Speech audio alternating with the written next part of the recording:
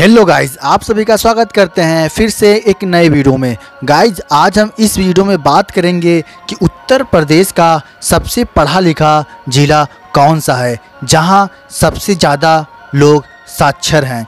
तो आइए जानते हैं उत्तर प्रदेश का वो कौन सा ज़िला है, जिसका लिटरेसी रेट काफ़ी हाई है। उत्तर प्रदेश में सबसे ज़्यादा पढ़े लिखे लोग उसी ज़िले में पाए जाते हैं। तो चलिए बिना टाइम गवाए वीडियो को यहीं से स्टार्ट करते हैं। शुरू करने से पहले छोटी सी रिक्वेस्ट अगर चैनल पर नया है तो चैनल को सब्सक्राइब कर ले, क्योंकि हम आपके लिए उत्तर प्रदेश की सारी छोटी बड़ी जानकारी लाते रहते हैं। अगर आप उत्तर प्रदेश के हैं तो इस वीडियो को ज़्यादा से ज़्यादा शेयर करें। तो चलिए वीडियो यहीं से करते हैं।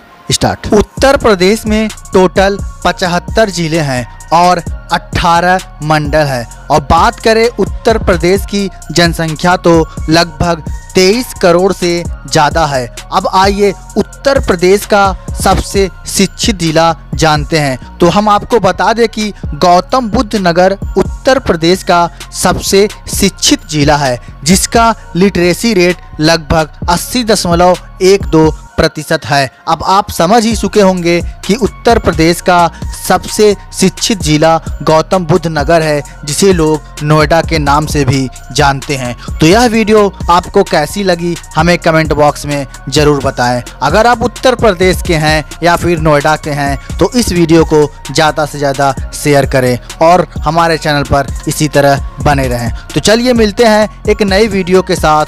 तब तक के लिए बाय बाय